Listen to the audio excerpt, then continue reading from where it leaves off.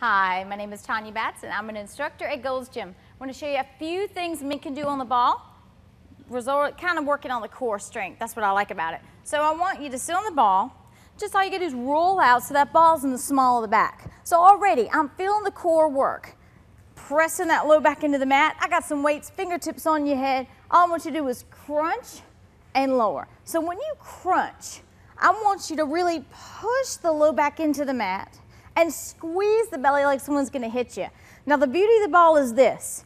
Look, I can go a little further down and come on up. So I'm working those abdominals twice as hard. If you were on the floor, you would just come like here and up, here and up, but you're on the ball.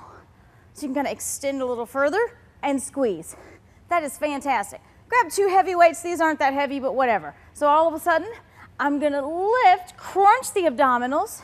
So now I'm working the chest and the core.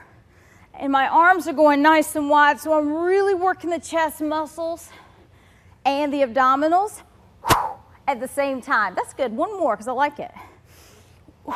Feels good. All right, so what I'm gonna do is one more thing, fairly simple, kind of resembles that ab roller thing, but if you don't got one, grab a ball. So I'm standing with my feet underneath my hips, my hands are on top of the ball. All I'm gonna do is roll it out and then roll it back in.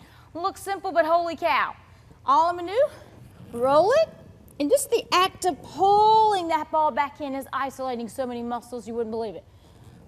Roll it out so you're in plank position and bring it back in. So if you wanna go roll out on a plank and stay there and hold it for a minute, go right ahead. But those are three fantastic exercises that men can do on an exercise ball.